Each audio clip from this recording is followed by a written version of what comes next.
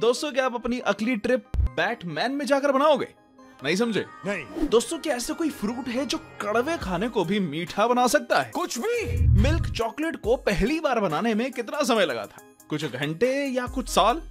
जा पूछ क्या। जानिए इन सभी सवालों के जवाब आज की वीडियो में। हेलो एवरीवन मेरा नाम है Himanshu and welcome to wow amazing facts जहाँ हम दुनिया के हर कोने से फैक्ट्स ढूंढ कर लाते हैं सिर्फ़ आपके लिए। तो अगर आपको भी दुनिया में उतना इंटरेस्ट है जितना कि हमें है तो कीप वॉचिंग शुरुआत करते हैं हमारे पहले फैक्ट के साथ. क्या आप कभी बैटमैन गए हैं? नहीं आई एम नॉट आस्किंग कि अगर आपने कभी बैटमैन की मूवी देखी है नहीं. आई I मीन mean, क्या आप कभी बैटमैन गए हैं? ए, तू इसके साथ मत घूम रे. तू पागल हो जाएगा. आप जाओ.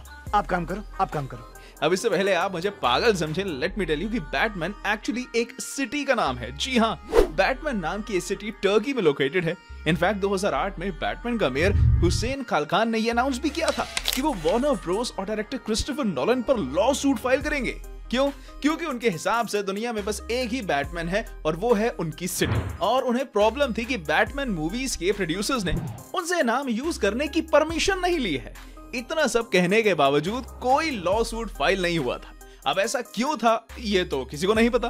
मैं मज़ाक कर रही थी और तुम सीरियसली ले रहे हो। आई वाज जस्ट जोकिंग लेकिन हैरानगी की बात तो ये है कि बैटमैन की फ़िल्म भले ही 2008 में बनी थी लेकिन उसकी कॉमिक्स उन्नीस से बनती आ रही हैं। इस सिटी को बैटमैन नाम मिलने से भी ऑलमोस्ट टू डेकेड्स पहले से बैटमैन सिटी को पहले इल्हा बुलाया जाता था। लेकिन 1940 में यहाँ ऑयल डिस्कवर होने के बाद ये सिटी एकदम पॉपुलर हो गई।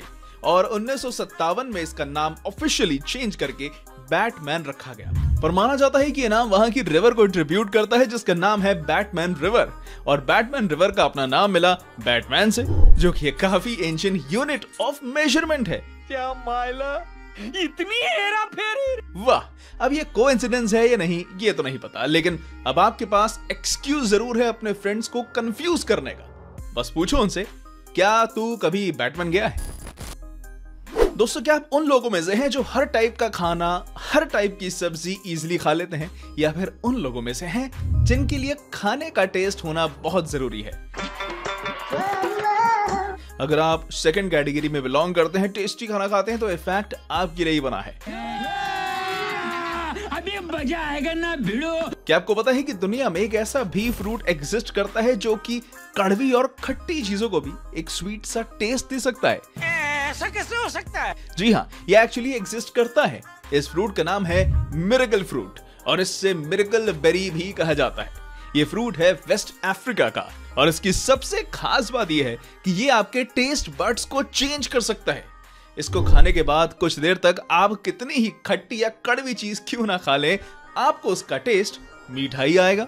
ऐसा इसलिए होता है क्योंकि इस फ्रूट में एक कंपाउंड है जिसका नाम है मिराकिलिन बेसिकली मिराकिलिन कुछ टाइम के लिए आपके टंग पर सौर रिसेप्टर्स को ब्लॉक कर देता है और स्वीट रिसेप्टर्स को एक्टिवेट कर देता है।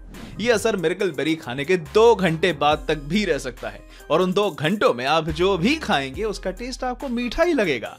दो घंटे तो बस एवरेज टाइम है। कुछ लोगों के लिए ये 20 मिनट तक असर करता है तो कुछ के लिए कई घंटों तक। वाह अगर ये फ्रूट यहाँ कॉमनली अवेलेबल होता तो किसी पेरेंट को अपने बच्चे को हेल्दी खाना खिलाने में कोई इशू नहीं होता। खुश हो गया तू?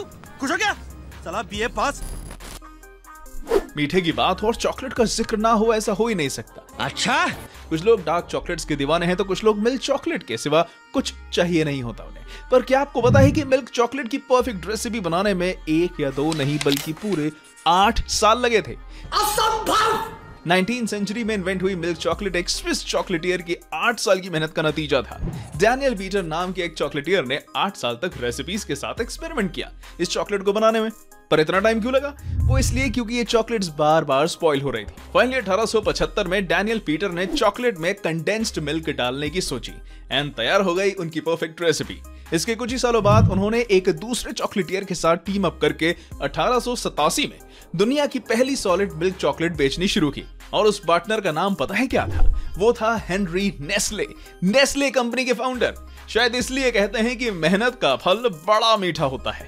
ये थे दोस्तों हमारे आज के फैक्ट्स मज़ा आया? हमें कमेंट सेक्शन में अपने व्यूज़ बताना मत भूलिएगा। एंड अगर वीडियो अच्छी लगी हो तो लाइक भी कर दीजिएगा।